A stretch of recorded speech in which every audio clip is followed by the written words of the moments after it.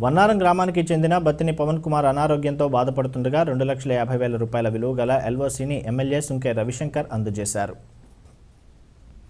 రామడుగు మండలం వన్నారం గ్రామానికి చెందిన బత్తిని పవన్ కుమార్ అనారోగ్యంతో బాధపడుతుండగా ఎమ్మెల్యే దృష్టికి తీసుకెళ్ళగా ఆరోగ్య పరిస్థితిని దృష్టిలో ఉంచుకుని రెండు లక్షల యాభై వేల రూపాయల విలువ గల ఎల్ఓసిని పవన్ కుమార్ కుటుంబ సభ్యులకు అందజేశారు. ఈ సందర్భంగా ముఖ్యమంత్రి కేసీఆర్ ఎమ్మెల్యే సుంకే రవిశంకర్ కృతజ్ఞతలు తెలిపారు.